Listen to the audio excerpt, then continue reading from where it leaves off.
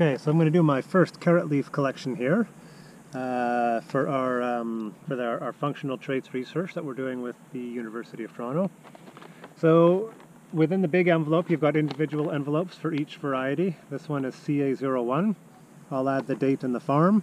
Uh, so I'm at CA01 here, and I'm going to collect from three plants.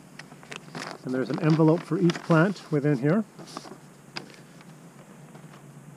So I will, we're going to take the stems and the leaves. So basically we're going to cut it right off at the base, and I just brought a little X-Acto knife. I could do a nice cut there.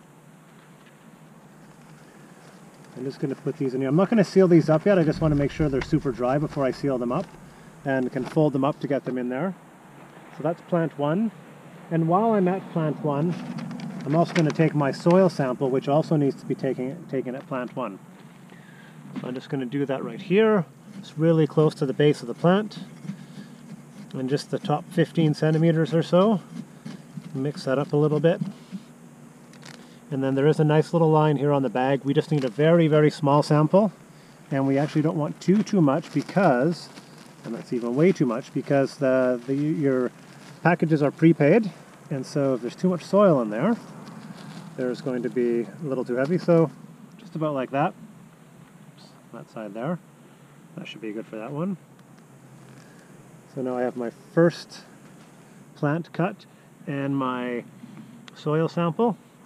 I'm going to do plant two. I'm just going to move over a bit to this other row to mix it up a bit. Let's take one here. All the leaves here look good, so um, if there was anything diseased, I'd be mindful about that, to not take that, but everything here looks really nice.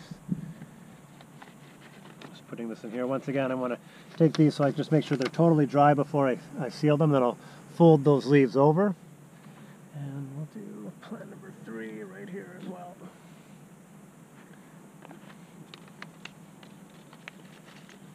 it's fairly dry here. I see just little bits of moisture on here, so just being extra careful with that.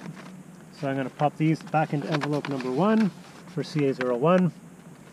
I've got my soil sample here.